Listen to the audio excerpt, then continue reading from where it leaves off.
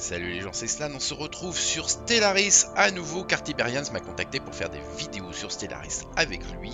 Alors Tibbs, voilà comment on procède pour jouer à ce jeu. Je te donne quand même quelques astuces. Tu choisis une race parmi toutes les grandes races de méchants que tu vois là.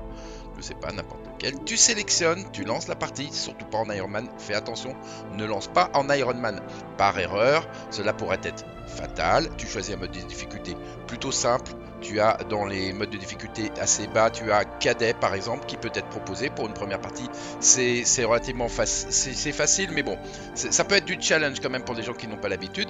Tu arrives comme ça sur une espèce de carte galactique. Ça peut paraître confus au début, mais ne désespère pas, on peut tout expliquer. Tu as des endroits où tu peux mettre des petites stations minières pour cumuler des ressources. Alors oui, il y a beaucoup de ressources en haut. Tu seras peut-être un petit peu perdu au départ, mais tout ce qu'on te demande n'est pas compliqué. Tu prends ton vaisseau et tu vas aller te balader autour, explorer la galaxie jusqu'à trouver ton premier ennemi.